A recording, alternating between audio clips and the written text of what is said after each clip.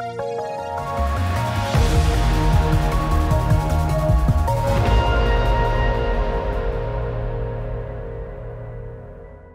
eTGM, as a fully electric truck, was designed for distribution work.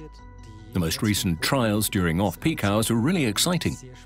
We perform each test drive three times in succession, and by repeating these identical journeys multiple times, we're able to assess the effects caused by commuters, timings, etc.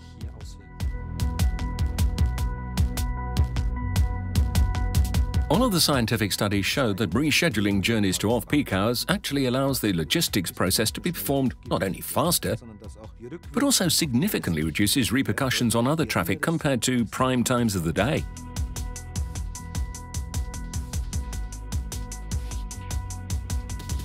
MAN is becoming actively engaged in the European discussion on the future of mobility in cities. Accordingly, MAN and the City of Munich are jointly supporting the EIT Urban Mobility Project ZEUS in order to more efficiently utilize the traffic infrastructure.